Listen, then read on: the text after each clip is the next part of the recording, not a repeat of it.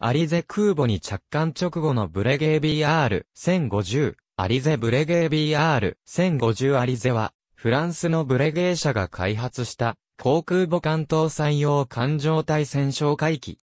フランス海軍とインド海軍で運用された。パリ航空ショーで展示される試作1号機第二次世界大戦後、各国ではジェットエンジンとレシプロエンジンの両方を搭載する複合動力機の研究が行われており、フランスでもブレゲー社がフランス海軍向けに複合動力を搭載した艦上攻撃機、ブレゲー BR960 ブルテュールを開発した。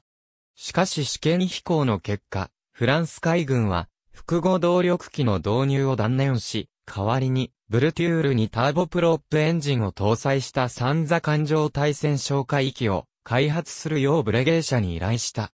ブレゲー社は、ブルテュールの試作2号機に搭載されたロールスロイスニーンターボジェットエンジンと、アームストロングシドレーマンバターボプロップエンジンを撤去し、出力を 1230kW に強化したマンバのみを搭載した対戦哨戒機のデモンストレーション機、ブレゲー BR965 エポーラールを開発した。エポーラールが飛行試験を始めた時点で、フランス海軍は試作機2機と全量産機3機を発注し、アリゼの名称が与えられた。アリゼの試作機は1956年10月6日に初飛行を行い、主翼折りたたみ機構やアレスティングフックの追加、エンジンのロールスロイスダートへの換装を経て、1959年5月12日に TBF の後継機としてフランス海軍に採用された。飛行するフランス海軍のアリゼ機体は、低翼単発機で、油圧式の主翼折りたたみ機構や、アレスティングフックなど空母での運用に必要なものが備えられた。主脚は前輪式で、主脚は主翼のバルジに格納するようになっていた。このバルジには、その部位も格納した。操縦席は、ブルテュールで、複座式だったものを三座式に改め、前席左に操縦し、前席右に、後方視、後席に、レーダー操作士が登場する。操縦席は、かなり狭く、レーダー操作士の席からの前方視界はない。エンジンのロールスロイスダートターボプロップエンジンは、フォッカー F27 や YS-11 にも搭載されたことで知られる傑作エンジンで、アリゼは機種に搭載する。排気ノズルは機体全部右側に突き出ている。ブルテュールでは、ターボジェットエンジンがあった、胴体下部後方には、トムソン CSF ドラ -2S 以上操作レーダーを、直径1.3メートルの引き込み式、レドームに装備した。後の改装で、レーダーは、探知能力の高いドラ -10A に換装された。ほか、洋上監視のために、最大探知距離20ナノメートルのペリスコープを、レーダー操作施席に追加装備した。固定兵装はないが、胴体下の爆弾層があるほか、主翼内側に、各1箇所、主翼外側に、各3箇所のパイロンがあった。爆弾層には、マーク46航空魚雷や対戦爆雷が搭載でき、パイロンには対戦爆雷や 127mm ロケット弾、さらに SS-12 空対艦ミサイルを装備することができた。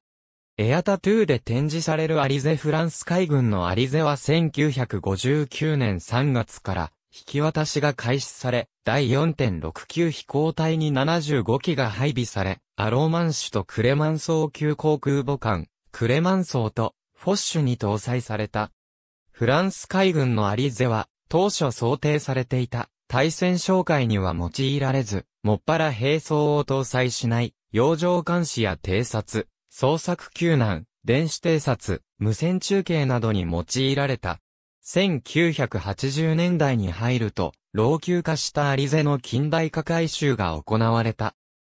レーダーをトムソン CSF ドラ -10A、イグアスに、広報装置をオメガエキノックスに換装したほか、通信機器も交換され、主脚格のオバルジに、イズム用の電子機器が追加された。この近代化改修を行ったアリゼは BR1050M に改称され、運用年数は15年延長された。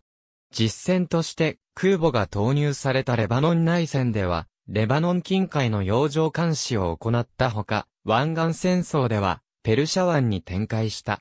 1990年には、なおも在籍する24機のアリゼに、さらなる近代化改修が施された。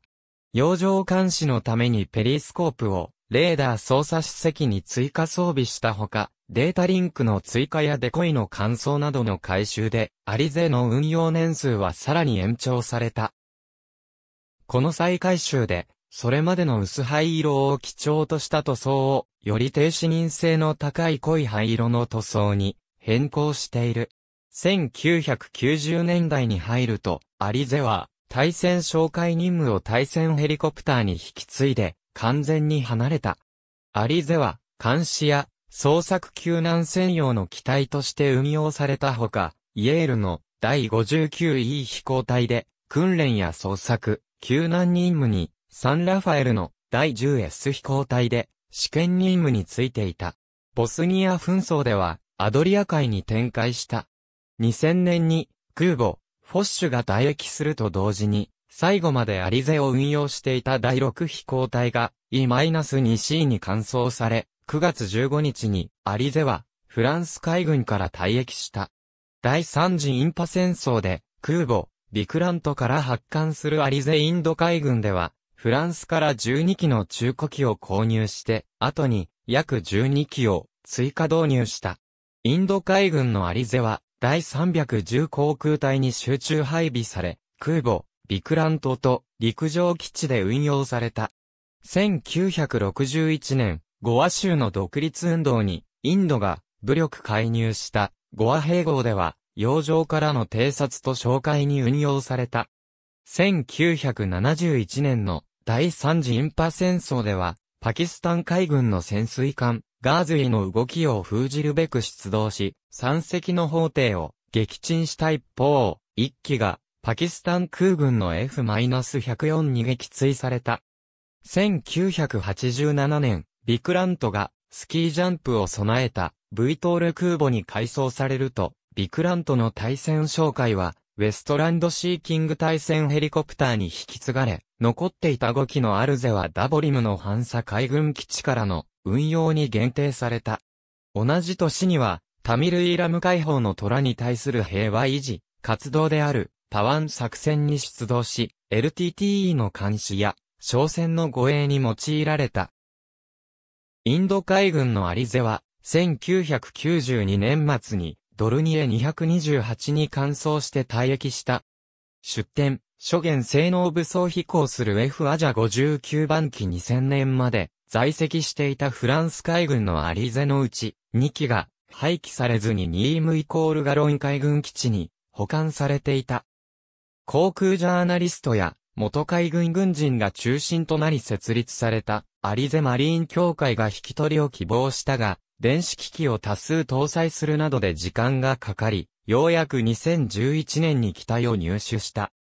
56番機は塩害による腐食が著しく部品、取用に保管され、総飛行時間が約6000時間と状態が良かった59番機が再整備され、2013年5月、機体番号 F ワジャを与えられた59番機は、再び飛行に成功した。